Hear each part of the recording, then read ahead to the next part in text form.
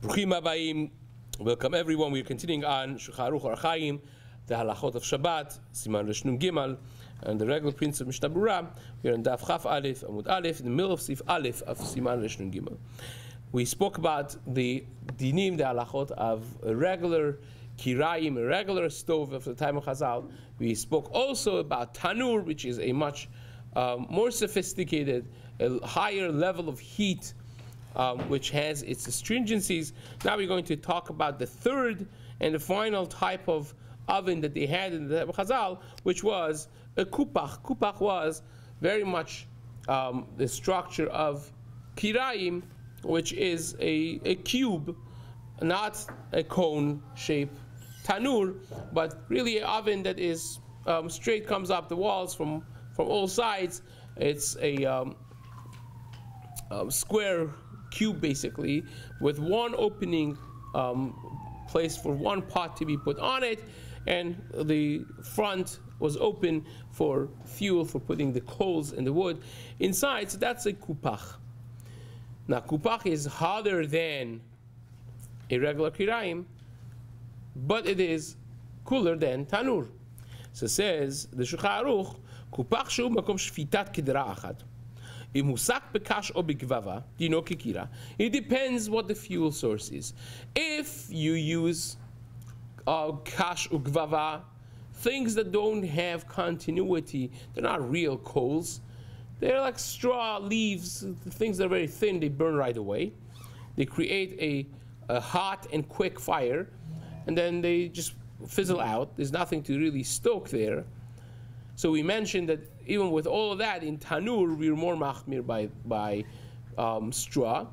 But here, they would be like uh, a regular kirayim that you don't have to be concerned. You don't have to take it out. You don't have to cover the source of heat.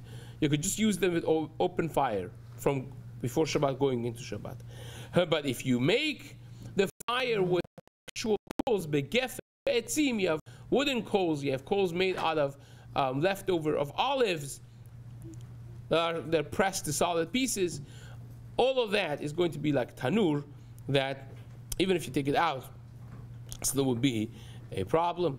Now this says the Shulchan. What happens if in one of the scenarios in which you don't have to, um, you don't, you shouldn't put put the pot, leaving it on, uh, um, on the kirayim, going into Shabbat, and you forgot and you did right? So every scenario based on what it should be. For instance, if you uh, have a regular kiraim and you have a regular source of fuel, you have coals inside, and you left food on it which is half cooked, going into Shabbat without covering the coals. That would be asur based on what we learned before, right? If you have food that is half cooked, it's machal ben derusai, but it has not been prepared fully, and you're putting it on open fire on Friday right before Shabbat, right? Even though that you're putting it before Shabbat, still is going to be asur because Shema Chalim. We're concerned you're going to tamper with the level of fire, and therefore, because you're concerned, your guests are coming Friday night, the food is almost ready but not fully ready. So we're concerned you're going to to higher the level of heat by stoking it. Nowadays would be by however you do it, but depending on the, the flame source that you have, the heat source that you have. Therefore, it's asur. Now, what happens if you forgot and you did it? Right? You put your half-cooked cholent, the choresh, rice, whatever it may be, on open stove top before Shabbat, going into Shabbat. Imhu tafshir shebishel kol surkos. Says the Shulchan if it's something that has been fully cooked, mutar afilu imistamek ve'afelo. If if it was fully cooked, even though the further cook makes it better, still would be mutar to use it bediavet. But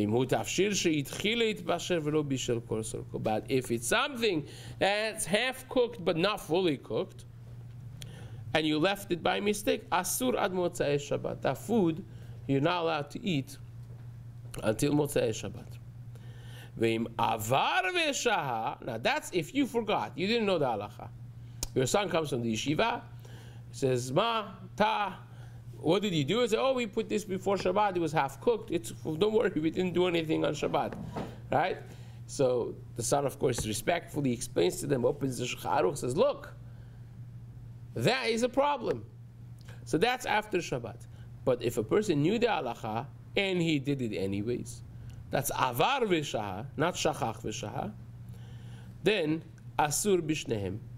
Then not only a half-cooked food is going to be asur until Motzei Shabbat.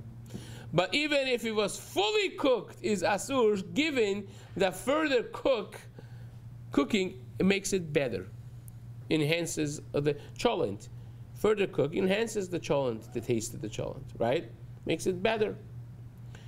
Many foods are like that. We mentioned before. Water is not like that. Water is considered mistamek veralo. So if you put a kumkum, if you put a kettle that's fully boiled, is heated to boil, and now you put it on open stove top on um, Erev Shabbat going into Shabbat, can you have your chai, can you have your tea or your coffee from, from that hot water? Yeah, no problem. You can have, use it because it was fully cooked, given that you forgot. But if you knew and you did it anyways, for instance, you came to this shiur, but then you conveniently uh, did not do chazara and you were confused and you didn't do it, right? So then you can't use it until Motzei Shabbat. So says, I mean, again, the, the cases that are forgetting or not knowing is very common. You go to someone as a guest, right, and they have something that they had from before Shabbat half cooked, so that's um, very questionable. And says the, the Ramah, Ramah adds over here that not only you have to, in the case of Mezid, the case that you knew and you did it anyways, not only you have to wait until Motzei Shabbat, but you have to also wait because you don't want to have any hana from what you did. So Rama says if it takes, let's say, one hour to cook the food, you can't eat it until an hour after Seta Kochavim, after Motzei Shabbat. Ad bichte Right? So that's what the Rama says. Even though that if you cook on Shabbat b'mezid, we're going to see in, in Siman Shin Yud Chet, Sif Aleph and Sif Bet, that that food you cannot use forever, right? That food you cannot use forever. But here, you didn't cook on Shabbat. You left something on stovetop from before Shabbat. You did still an Avirah, you went against the Shulchan but you didn't do any Yisur Deoraita, so therefore you don't have the um, eternal prohibition. The Kaf HaChaim says you only have a Darabanan here, so therefore you could use it after Shabbat, no problem with that. Um, you could use it. Now, says the, the Ramah, how about if a non-Jew returned it on Shabbat? Then it's dino keshachach. Says the Ramah, that halacha is equivalent of you forgetting. If the goy went and put your food to warm it up on um, on Shabbat, like go finish the cooking it's like avar v'shaha. Uh, sorry, it's, it's like shachach v'shaha. It's like forgetting and putting it on. Israel dino avar v'shaha. If the Jew returns it on fire, that's like avar v'shaha. That's like you um, transgressing knowingly and leaving it on the stovetop. V'mistamek veralo mutar. So in that case, if you have a food that has been fully cooked, and further cooking is not good for it, and you returned it on fire on Shabbat, then it will be mutar. Anything short of that, if you did it yourself, will be asur. If the goy did it, it's like shachach v'shaha. So then, eh, if it was fully cooked, even if the further cook is good for it, you're good to go. But if it wasn't fully cooked, then it's a problem, even if a goy did it. So that let's let's cover until here because the next Yeshomrim is going to be a um, a little curve here. Says the Mishnah Berurah.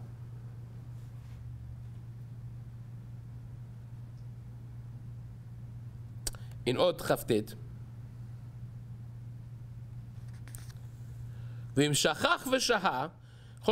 shagag bedin. If you forgot or if you made a mistake, the same halacha. Either you um, didn't know the halacha, right? Or you forgot um, that this is asur, right? So you either forgot the halacha or shagag bedin, you thought that this is mutar, right? Even though if it's fully cooked, we said if you forgot the halacha or didn't know the halacha, if you put something that is fully cooked, even if a further cook is good for it, still will be mutar, right? Even if you put it inside the oven, says the, shukha, the Mishnah Berurah. Not only on top of the, the, the stove top, on top of the tanur, but even if you put it inside the tanur, still is mutar. V'atam, the reason. Because you're not really benefiting from it. Let's be serious. This was fully cooked. Now, the fact that it became a little better, that's not very consequential. It's not like really, does people eat cholent when it's fully cooked? Now, if it's a little bit better in Shabbat morning than Friday night, fine. But if it's fully cooked, you're not really having hana'ah, a substantial hana'ah uh, from the further cooking that it's happening. Therefore, it will be mutar. Because it was fully cooked beforehand. Valkin, b'di'evet mutar. Um, but if it was not like that, if it was not fully cooked, if it's half cooked, then it's going to be asur. And not only asur for the person who did it, but it's going to be asur for everybody. So if you're guest in that house, it's going to be asur for you as well. Certainly for his household is going to be asur because he originally cooked it for them. Therefore, of course, that's pashut. That's going to be a problem, right? Now,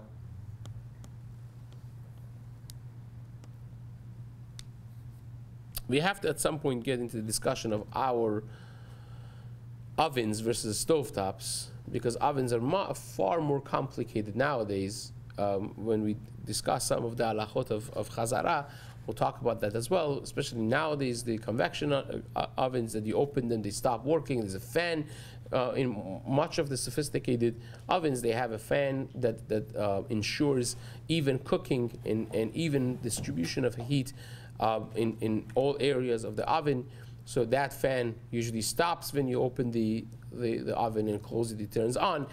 Uh, the light of the oven goes on, on and off. Then the oven itself is mechzikim mebashel more when you're putting something in it, because you can't really cover the oven. You can cover with the blech, the stove top. How are you going to cover the oven? So there's an issue of looking like you're cooking on Shabbat. There are multiple problems with putting things in oven, which you have to discuss at some point. Um, even if you do have a, a Shabbat mode oven or those that takes care of all the light and digital readout and the fan and although still there, eh, there, there are elements to be discussed halachically but nevertheless says the Mishnah Berurah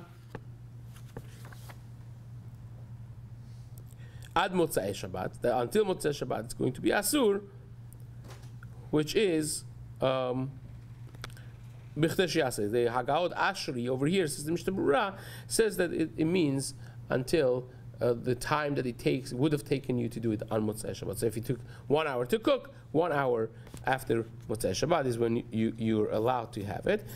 So it's not only, says the Mishnah Berurah, in a case that you transgress knowingly that you can't leave this on, on oven, on, on stovetop, and you left it, that you have to wait uh, but even if you didn't know the halacha, by mistake you put it, not knowing that you can't leave this half-cooked uh, food on stovetop, the halacha still would be that you wait until Motzei Shabbat, and on top of it, the time that would take for this food to be cooked. So if it's hour, hour after Motzei Shabbat is when you could have it, both by the case of shogeg and shagag, shachach v'shaha, or avar v'sha. Now, what's the business of the goy? Because the, the Rama all of a sudden throws a wrench. It says, if the goy put it on, right, on Shabbat, then it depends. If the goy puts it, uh, it becomes like shogeg. If you put it on Shabbat, it's like mezid. So what does that mean exactly? Hechzira menu Yehudi lesorech Israel. The Mishnah Berurah says that we're talking about the case that the goy puts it on for a Jew, not for himself. Because if the goy does something for himself, then it's mutar um, to, to benefit from it, given that there's no other issues. For instance, if there's no issue of bishul akum, which there, there isn't over here, there's no issue of of, um, of, of kashrut, and so on, then you could actually benefit from something that he did for himself. Right? Now, if you to- told him to do it, then um, it's considered like you did it yourself. So when the, the Mishnah the Ramah writes that if you if the goy does it, it's like shagag v'shaha, shachach v'shaha. That's only if he did it on his own. But if you told him to do something, then it's like Jew doing it himself. It's like avar v'shaha will be uh, much more much more severe, right? Why is it that if the goy does it on his own is considered like shachach v'shahad, like you forgot? The mashna asa al yedei eno Yehudi b'mezid lo chamir mimashna asa al yedei Yisrael b'shogeg. Because him, he's always a notch down. So therefore, what he does b'mezid, thinking that I'm doing this for the Jew, is going to be like the Jew thinking um, that this is mutar and doing it b'shogeg. But if the Jew himself returns something on on fire on Shabbat, afilu b'shogeg, even if he didn't know that the, he thought this is fully mutar because the food is cooked, dino avar v'shahab it's like he knew the halacha and he left it um, b'mizid. Because this, you're, you're returning it on Shabbat, v'asur, If the food is further cooked, is good for it, even though that the food is fully cooked, still would be asur. If you return something on Shabbat onto a fire, even though that's fully cooked, and oh, it's always not cooking more, but if the further cook, for further heat makes the quality of it a little better, that would be asur. And the reason, Vatam, the machmirinan bechazara tefemi b'shihya. Why is it that we are more stringent when you return something on Shabbat than if you left it on the stovetop from before Shabbat? Mishum de kavid because you're doing something on Shabbat. Very simple. If I left something from before Shabbat, I, I, I left things in motion, and it happens by itself, I didn't do anything. The whole thing is because of gezerah. But here you actually did something on Shabbat. Magen Avraham interestingly says, if the food was fully cooked, even though that the further cook makes it better, so cholent that's fully cooked, and you take it out, uh, you know, you take it from the countertop, you put it on the um, on the stove on Shabbat, then for other people it's mutar. Only for you is asur, says the Magen. Because a, it was fully cooked for me for Shabbat. B, I didn't do it knowingly. I didn't know. I, I thought it's mutar. So therefore, uh, Magen says it's mutar for other people. For you, we make a kanas. You didn't know, too bad. You have to know, right? But for other people, it would be mutar. Veda says the Chafetz Chaim, you must know that in zehu afilu shitat arama. The posek besof ha'seif keshomrim, the Beshiyah mutar k'ma'achal ben derosai. The Rama is going to be lenient that when you have ma'achal ben derosai, that when you have a half-cooked food, you could leave it on stove on Erev Shabbat. Rama is going to be mekel momentarily, but nevertheless, hacha bechazara shavim ledina. Both Rama and the Shulchan Aruch agree that when you put something on Shabbat back on stovetop, it's going to be a problem if it is um, if it is mistamek veyafelo, right? Sorry. Well, we'll get to the halachot of bishul afterwards. We are talking for now, even even even if it's fully cooked belach, right? Lach is more chamur because later on, as we will see in Siman Shin Yud Chetz, if Dalit, Maran Paskins like Talmidei Rabbeinu Yonah, over there against the other Rishonim, that by lach there is bishul Achar bishul. So it could technically be much more severe. But even by Yavesh, if it's mistamekve yafelo, it will be fine. Why? If you have something that's completely hot, belach, and it's mistamekve ralo, then it will be mutar, right? And on that, says the Mishnah Berurah, if it's mistamek veralo, if it, a further cook is bad for it, even though that the you cannot return something on stove top that's not covered, you need all kinds of conditions for that to be mutar.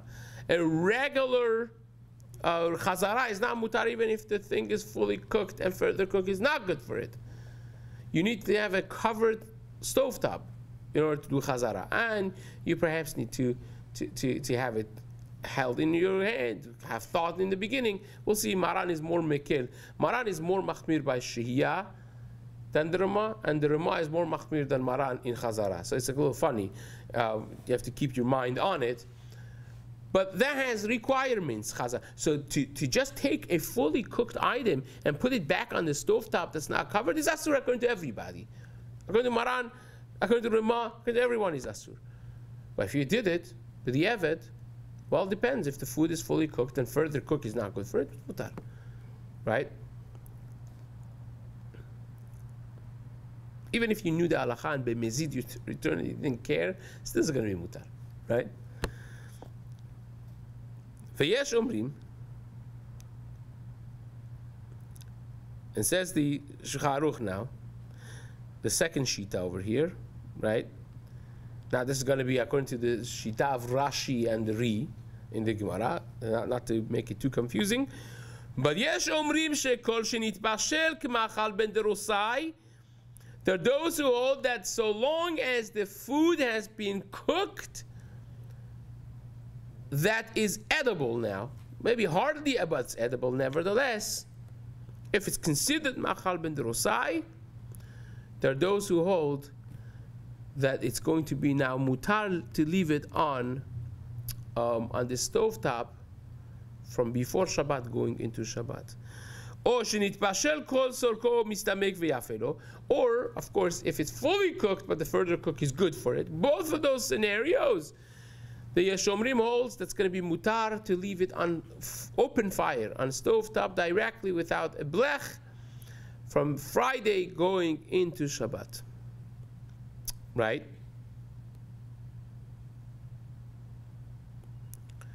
Now this, the Ramah paskins like this. Again, Maran does not paskin like this because Maran is yesh, stam v'yesh, halacha is like stam. But the Ramah uh, is going to paskin like this mandamar uh, shortly, as we will see. But afilu husak begefet va'esim, says Maran, even if the fire source is real coals of gefet va'esim, still open fire, we're not concerned you're to stoke it because it's, full, it's, it's edible. Once it's edible, people don't care much. They let it just take its course. We're not concerned that it's to stoke the fire. We're not to be, you know, the food is fully cooked. The further cook makes it better. It's not a big deal. Not a big deal. You're not concerned you're going to come to stoke the fire. You're going to be all nervous and anxious. People are not anxious about that. Uh, food is edible, so fine. The, the this time will not have the best time. Not a big deal. That's what the, the Yeshomrim holds. That's what Rashi and Ri hold. The kevan denif bashel says the Mishnah Berurah even if it's hardly edible, to lekale We're not concerned he's going to go out of his way and forget about Shabbat. He's so nervous. He's going to forget about Shabbat to come to stoke the fire. Kevan shraui la'achila lama yachate bechinam. Once it's edible, he's not going to come to stoke the fire. Therefore, even if it's open fire, we're not concerned about it. The only case, according to Yeshomrim, that's Asur is, it's not fully raw, but also not machal ben derusa. It's somewhere between, right? It's like somewhat cooked, but it's not edible yet. That's asur. Or when you come to return it on fire, right? Machal ben derusa is asur to return on fire. We said according to everybody, it's asur, right? Either of those two cases is what's asur. Then michzikim bashel because it looks like you're cooking when you put it back on Shabbat on fire, on uncovered fire.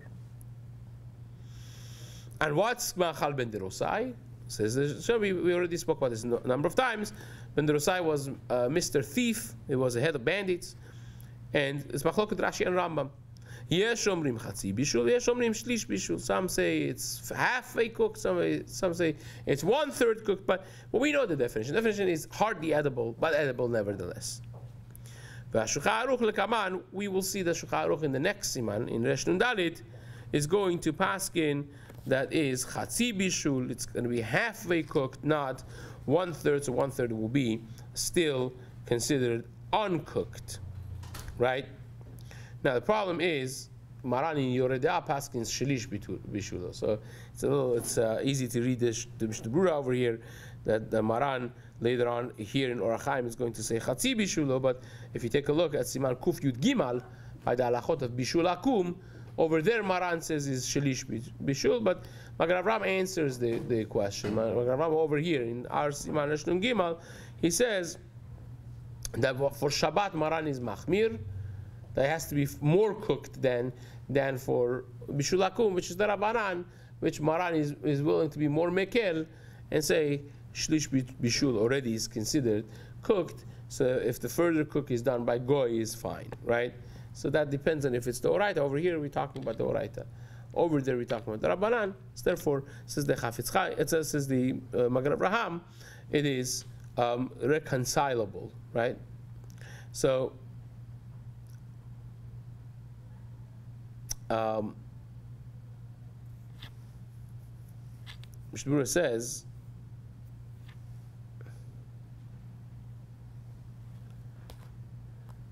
well, this is going to be the next next part of the Shulchan Aruch. Really, uh, we're gonna let's let's wait on it. Let's leave it. Bezrat Hashem. We'll continue this um, Hashem in the days to come.